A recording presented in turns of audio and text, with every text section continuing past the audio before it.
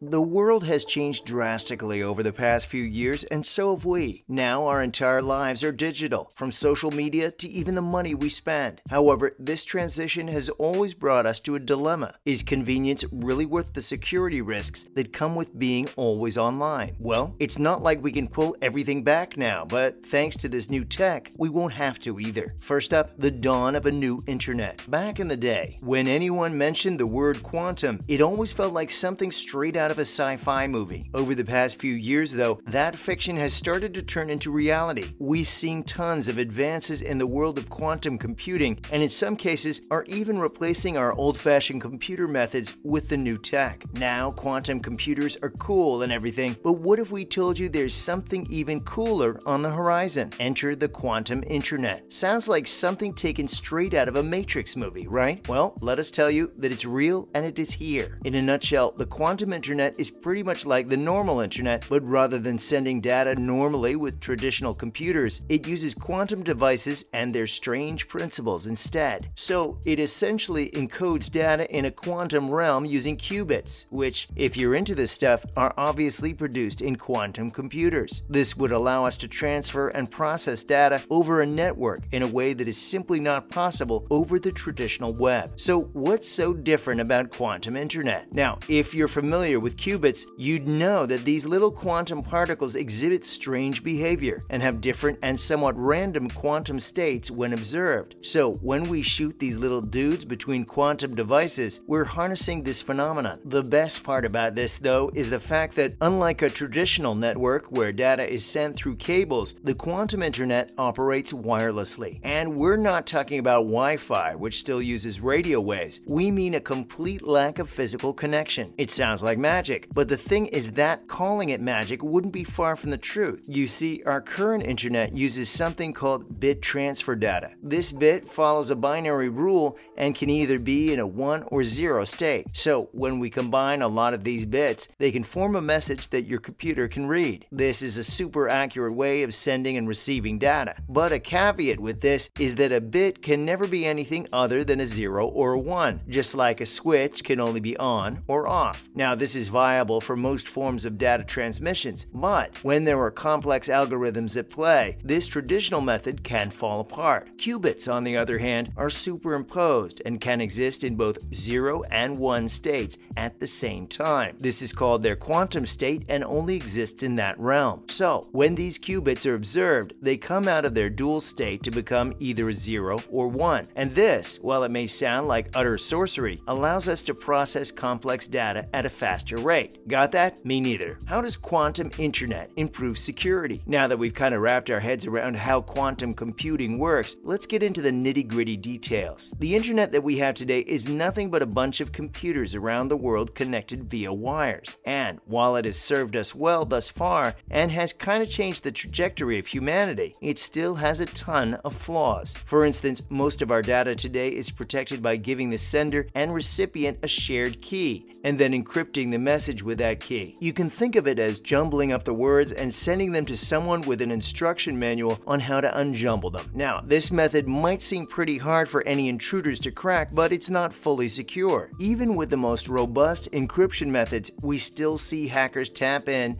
and steal data regularly. In the case of quantum internet, hackers won't even have a route to tap into. This is because, unlike a traditional network, the data on quantum networks is encrypted using photons. Called quantum cryptography cryptography, this method turns the key into photons that are shared between the two parties. And if any unauthorized person tries to take a look at these photons, they get changed or destroyed. So, in a way, this makes data on the quantum internet unhackable. But there's more to it than just this. But quantum internet doesn't need any physical connection. Since this tech is still in its infancy, we haven't quite figured out the best way to utilize it. Quantum entanglement is another buzzword used in sci fi movies, but we might be closer to actually implementing it in real life than we realize. In simple words, quantum entanglement means that two particles in different physical locations are tied together by their states. So, if one qubit is revealed to show one state, then the second entangled particle will also have the same state without us having to observe it. Now, this sounds like some science mumbo jumbo, but the gist of it is that we can transfer quantum data between two points without ever having to establish physical contact. In fact, this has already been replicated at a large scale. A Chinese team of scientists has managed to send an entangled pair of photons through fiber optic cables while keeping the data intact. And if that wasn't impressive enough, hear this out. This was not done over a distance of a few meters, but was done through a 2,000 kilometer circuit connecting Beijing and Shanghai. So, we already have proof of it working over long distances. Next, quantum particles are difficult to transport. There are still some caveats to this new tech though. We know that we're able to replicate this and transfer data over massive distances. However, while it may be possible to do this in a controlled environment, actually adapting it to our current infrastructure is almost impossible. You see, entangled particles are difficult to produce and even more difficult to transport across vast distances. And even though we could use quantum repeaters to allow for a better transmission, the actual cost for that will far outweigh the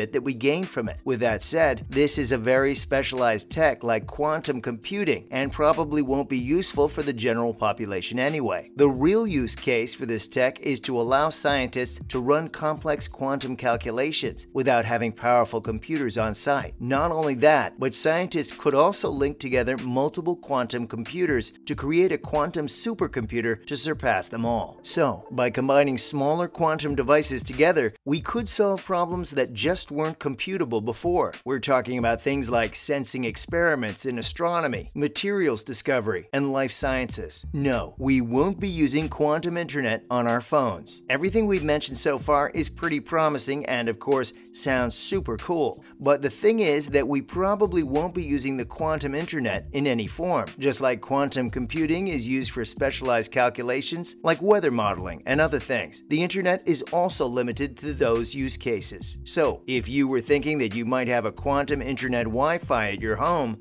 that you'd use to browse through Instagram, you're in for a disappointment. The data that we have to send through for our use cases needs to be fully accurate and predictable. And if you've been paying any attention, quantum particles are neither accurate nor predictable. Think of it as a big Pandora's box of randomness. Imagine opening your Instagram DMs and seeing that your crush has confessed their love for you. And then a second later, that message vanishes and turns it into some demonic hell chant. Wouldn't that be weird and creepy? Yeah, exactly. So you probably don't want to use quantum internet. All jokes aside though, most experts agree that we're still a few decades away from actually having a functioning quantum internet. And even when we get there, it will be used for some pretty complicated stuff. Currently, big tech companies like Google and IBM haven't achieved quantum supremacy, a concept that points towards quantum computers being better than traditional ones. In fact, they're not even close to achieving it. So, before we get to that point, quantum internet is our best bet. At the end of the day, though, everything comes full circle, and us being able to compute these complex algorithms will result in better products and information for our daily usage. So, in a way, we'll still benefit from it. Let's just hope that it doesn't give birth to some super smart artificial intelligence that takes over the world. That's a wrap for this video. Are you excited about the prospect of quantum internet? Let us know in the comments below. Make sure to give this video a thumbs up and subscribe to our channel for more videos like this. See you in the next one.